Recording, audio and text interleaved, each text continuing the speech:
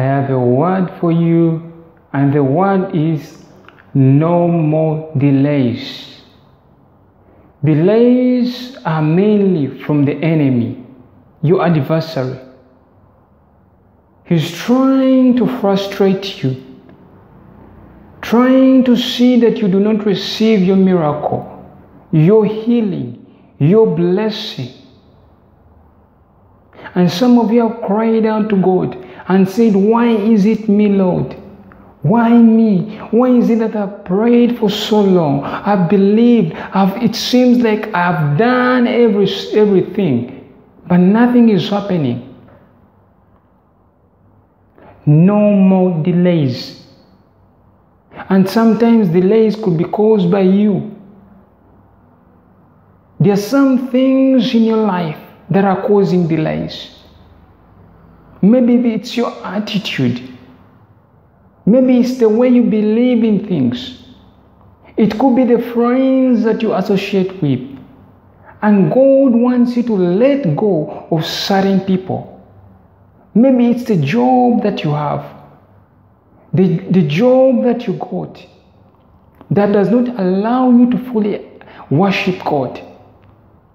The environment you are in could cause you delays. There are some things that are placed in your life to cause delays that are hindrance to progress. And God wants you to eliminate them. God wants you to get rid of certain things. Maybe it's certain movies that you watch, certain TV shows that you watch.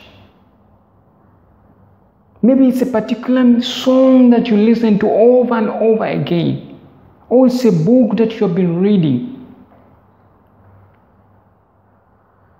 that has been putting ideas, negative ones, things that are not of godly, and it's causing delays in your life. And God wants to get hold of His Word. God wants you to read His Scriptures. No more delays in your life.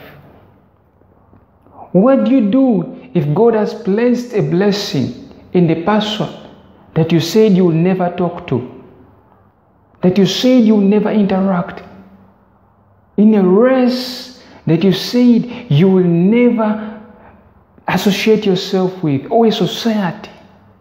What do you do?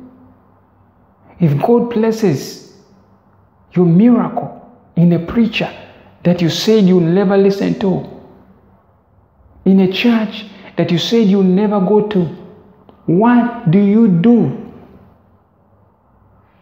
Because that could be causing delays in your life. God could use someone who's small, someone that you despise, and that person holds your blessing. But God wants you to see it. He is a loving God. He's not a God that wishes you to perish, but He wants you saved.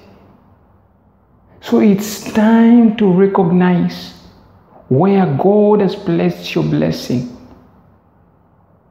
or, or who holds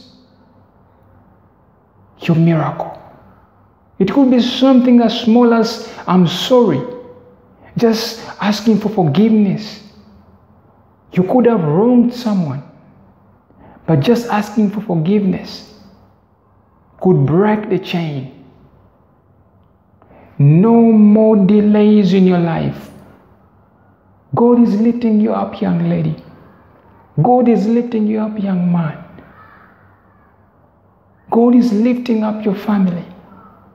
You have cried out for so long. You have been oppressed. You have been persecuted. You have been despised. But God is saying no more delays in your family. You have waited for so long. Many people have graduated. Many people have made it in life. But it seems as though things have been stagnant in your life. But God is lifting you up. Now is the time. This is your time. This is your season. No more delays. Receive your miracle. Receive your healing right now. Not tomorrow, not the other day, but receive it right now. Let it be for your family. Let it be for your household. Let it be for you. No more delays.